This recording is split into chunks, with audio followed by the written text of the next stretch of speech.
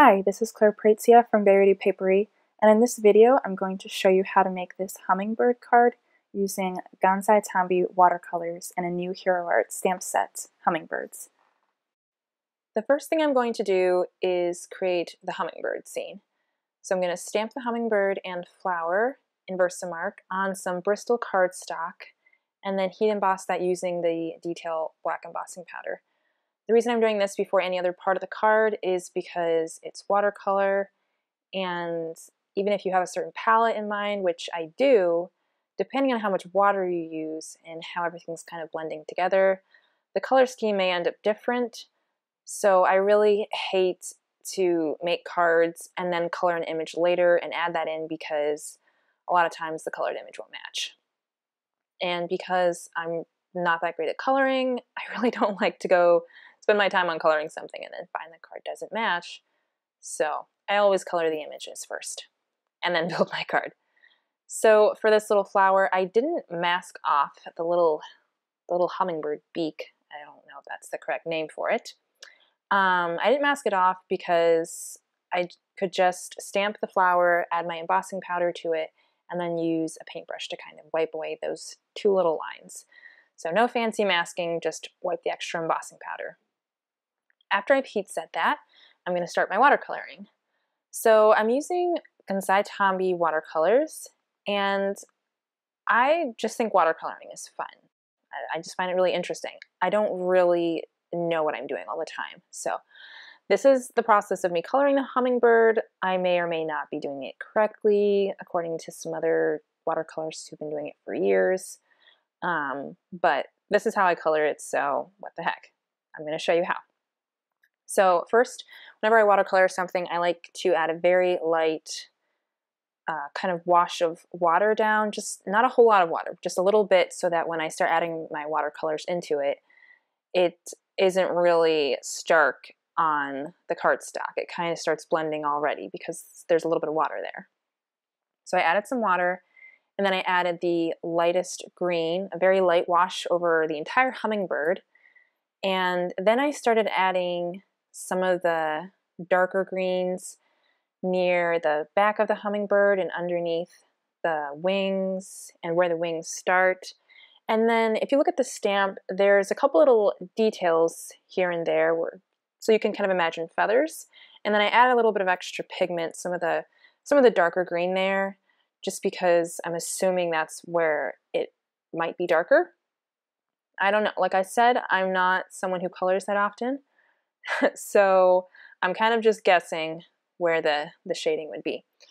So whenever um, I put too much ink down, I can always use my paper towel to kind of lift some of that up. There is technically white watercolor ink, but I know most watercolors don't like to use it because really if you don't if you want to lighten something up, just add some water to it and then try lifting it. You'll get a lighter version of that color right there. So for the leaves of the flower and also for the wings of the bird, I added that little bit of water down first and then I added just a little bit of the lightest green and then I kind of spread it all out so I just got a very light wash of that green. For the flower, you might have seen how I actually only added pigment to one leaf and then I kind of added, took pigment from that one leaf to all the other leaves. So it really takes very little pigment when you're doing a very light wash like this to color the other leaves. So I'm just going back in with this little guy. Um, the nose started bleeding into the head there. I added a little bit of black on the beak and then it kind of bled into the head because the head was still wet. So I had to use my paper towel to pick that up. And then I thought that that throat needed to look a little redder, so I added some more red in there. And then with the flower, I was worried because the green for the flower and the hummingbird, it's the exact same green. And then the red for the throat and the flower was the exact same too. So I tried adding a little bit of pinkish red to it, but I didn't really like that. So then I decided to add some orange in. And you can see I keep using my paper towel to pick up the color because it's still wet there. So if I use my paper towel, I can actually pick up a lot of the uh, pigment and um, recolor it. So I wasn't very brave or bold with my color choices here. I was thinking maybe I should have done purple for the flower, but I was too afraid. I wanted to keep in the same color scheme. So I just add a little bit of, a little bit more red to the throat of the bird, and then I kind of made the flower reddish orange. Not just red, red and orange. Um, and then I didn't actually, I added this at the very end of the card. So uh, this is after I had cut it and everything. I did add a little bit more orange to right below the red of the hummingbird because when I make this orange background later, I wanted to bring in some more orange because there was just kind of yellow, so I wanted more orange. I'm to make the panel for this hummingbird to, you know, set the scene for the hummingbird. So I'm going to die cut it using one of the Heart Infinity dies. I'm die cutting it also out of Bristol cardstock just so it matches the hummingbird. And that's going to create the window. I'm not going to be doing a fancy blended background, um, but I just wanted a little pop of color. I'm really into making blended backgrounds lately, so just kind of wanted to do that. I wasn't sure which color, however, because like I said, sometimes when I'm coloring stuff, I get scared about adding too many colors. So I was trying to figure out which color I wanted for the background, and I was thinking purple or the teal was really pretty, but the bird was already pretty green, so maybe not something green and bluish. And I liked the orange and the yellow the best, but I was like, that's not very brave. It's not very bold, you know? But I ended up using the yellow and the green, uh, or the yellow and the orange just because I liked it and I wasn't feeling super risky. So that's what I went with. I don't know if I mentioned this at the beginning of the video, but the reason I'm using Bristol cardstock is because it can handle watercolor. It doesn't handle it as well as actual watercolor cardstock. Um, it can't handle as much water, but it handles it handles you know a little bit of watercoloring like this and at least compared with the Strathmore watercolor cardstock and then their Bristol cardstock, the stuff that there's the stuff that you can find at Michael's. Um, I find that the Bristol cardstock is a little bit smoother and it's also whiter. And I wanted a whiter card for this. The watercolor cardstock tended to be a little a little creamier. I mean, still white, but you know, there's different whites, and this was the white I wanted for this card. So Bristol cardstock also works really well with ink blending. I mean, again, watercolor cardstock I feel like works better for ink blending, but Bristol cardstock can pull it off too. So I ended up using dandelion and soft apricot, apricot, I don't know. I ended up using that to blend my background. And you can see I'm using kind of an oddly shaped piece of cardstock there. I did a ton of prep for Creativation and had a bunch of extra negatives um, from this one die cut frame that I had done, and I didn't want to throw them away because it's my precious Bristol cardstock. So I figured out that this piece, if I cut it just so, fit the heart perfectly. So that's what I did. And I wanted to point out real quickly, I haven't used Hero Arts dye inks very much for blending. Um, I mostly use the shadow inks, but I the dandelion ink is a dye ink, and it worked beautifully with blending. I was a little bit worried at first, but it worked beautifully.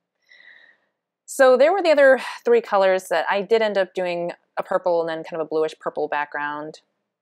And I sprayed them all with some white ink, but um, yeah, I was I was too scared. I ended up with the orange one. So now I'm going to stamp the diagonal pattern for the side of the card. I do this a lot lately because I don't have any black washi tape, basically because I can make my own using this uh, stamp. So this is the Candy Stripe bold print from Hero Arts. And it's 6 by 6 so it works perfectly whatever direction you want to go. You could actually make it just stripes um, instead of at a diagonal, but um, I like the diagonal. So I inked it up with Versamark. I used my messy Versamark pad because I have two of them. I have one when I actually want to do nice clean Versamark watermark stamping and then when I have really dirty backgrounds, I don't want to clean them or let's say I did try to clean them but they're just harder to get some of the ink off of. I have my dirty Versamark pad that still has enough juice in it but you know it's not gonna it's not going to stamp very pretty on white cardstock, but you're going to cover that with embossing powder, so it's fine. So I heat set that, and then I also stamped the sentiment and heat uh, emboss that with the same black detail embossing powder. And then I'm just going to adhere that blended background that I made onto the card base. And because it's so, it's got to fit that heart perfectly, I kind of place it right behind that panel and then I use the panel to kind of guide it down. I trimmed a little bit off the side. And then I want this panel to pop up a little bit. Even though there's no shaker action going on here, I want it to pop up. So I used some yellow foam that I had, super bright yellow. I hadn't found a project for it yet, so I was really happy that this card had some bright yellow going on in it.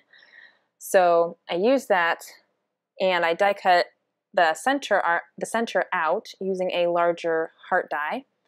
And then I just removed the backing from the one side. I really love this foam adhesive. You can find it at Walmart, at Joann Fabrics, Amazon, you can find it anywhere.